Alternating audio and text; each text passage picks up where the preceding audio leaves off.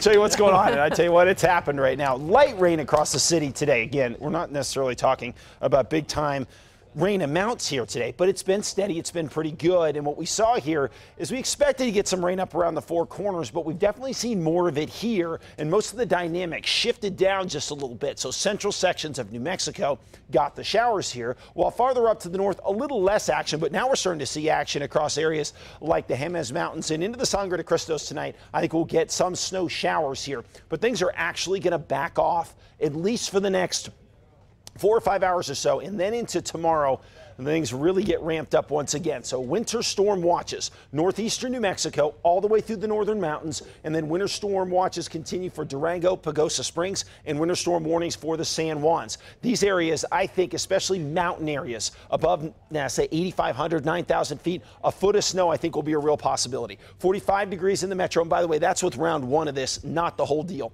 45 right now. Winds are not a big factor at this point. Snow levels hanging around 8,000 feet at the current time. But again, what's going to happen is a lot of this shower activity is going to work its way out and temps will continue to drop. 40s and 50s to the north, down to the south, 50s, 60s, and low 70s. Again, we've got the jet helping out here, a little weather disturbance mixed in, sliding through the area. And what's going to happen is this is the last little disturbance right here.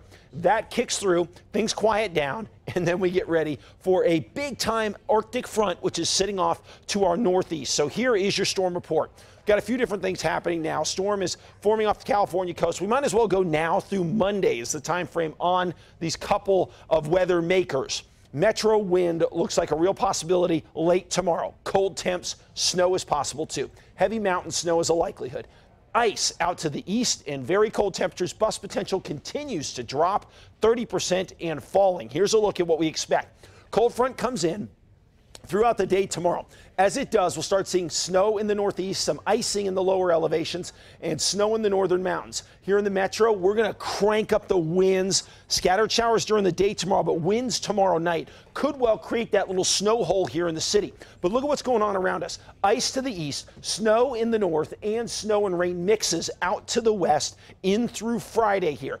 If we're going to get really aced out of things here in the metro, it will be because those gusty east winds end up pushing the precip out of here. If we keep the winds down a little bit, we've got a shot at some precip and maybe a little bit of snow or ice mixes here in the metro. And here's a look at how it all shakes out. During the day tomorrow, you'll start to see it expand. Scattered showers west and snow and rain mixes over to some ice across the east. Snow fills in over the northern mountains during the day into early on Friday morning. I think Friday could be a mess in the east mountains where we could start to really crank up the snow amounts there as well and into the metro. Gusty winds and that mix of a little bit of west side snow will be a possibility as well. And then into Friday night, things will start to taper a shade. But then remember, We've got the core of the main storm coming in over the weekend, and you'll see that reflected in the seven day forecast. Temperatures in the 40s across southern Colorado, mostly cloudy, wet mix over to some snow. Northwest, mostly cloudy, showers out there tomorrow, and mixing into snow Friday into Saturday as well.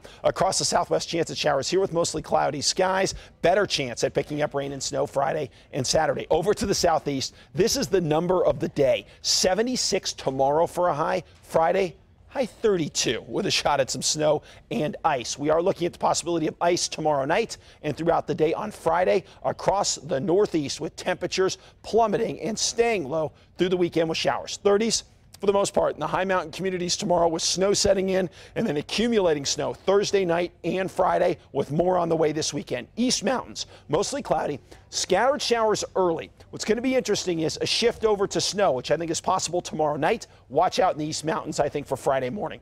Temperatures 50s and 60s in the metro for tomorrow. Mostly cloudy. We'll have some showers around, and then the gusty east winds come ripping through late tomorrow night and Friday. You guys, that could push any precip out to the west side.